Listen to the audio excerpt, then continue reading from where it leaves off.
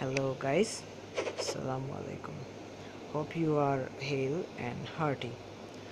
So welcome to my let's play of terraria hard mode. So this is my episode 2 today i will show you how to spawn and kill a hallowed and a corruption slash crimson mimic.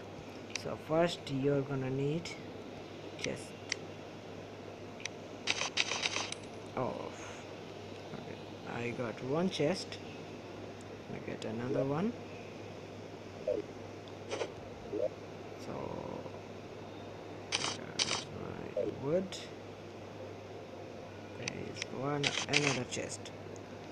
And another thing you need is a key of light and a key of night. So what you need to do to spawn a hallowed mimic is you need to place a chest and then put a soul of light and it will spawn. Lock your target and then then hit it and then just jump down. He will try to oh if you move too much then it will uh, uh use its dive bomb attack. The, over in that one you will like this method would not work. So like this if you hold your attack button and uh, keep your uh, enemy lock on then it will very easily kill the hallowed mimic so it is very needed to for the Daedalus Stormbow so if you want the Daedalus Stormbow then you must get the hallowed mimic. And uh, if, when you kill it there is a 25% chance that you might get a Daedalus Stormbow so and you might get a flying knife or a, a Vile Shard. And if and the corruption mimics which are the crimson and the corruption the red one and the pink one uh, sorry sorry purple one. Yes purple one. So it depends on which biome does your world have. If it has um, corruption biome then you then you oh i got the Illuminant Hook also 25% chance.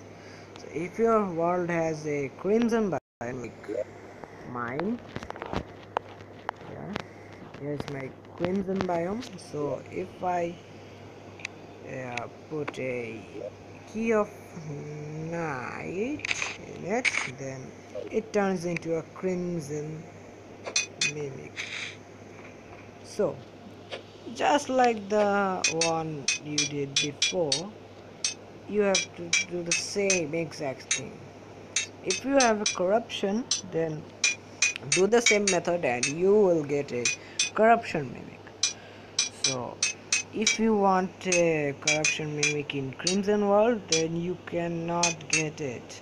And if you want a crimson mimic in a corruption world you still won't get it. You will get the same mimic over and over again so if you want a different mimic then you have to make a new world and make that world hard mode. Otherwise you cannot get the, the different mimic. And these mimic drop a ton of loot like uh, they go like the fastest melee weapon which is the Fetid Baghnakhs are dropped by the crimson mimic the tendon hooks are dropped by it the dart pistol and the other side the, the corruption mimic drops the clinger staff and uh, dart rifle and many more things. So these are really really like beautiful so this uh, uh, like here look at this. I got the Baghnakhs mana potions and healing potions these are 100% you will get. So and hope you enjoyed my tutorial. So if you want the Daedalus Stormbow or the Fetid Baghnakhs or anyone else Woodoos from the Mimics you can try this method and it is the easiest way to kill it. So please subscribe like comment and stay with us and support us. Assalamu alaikum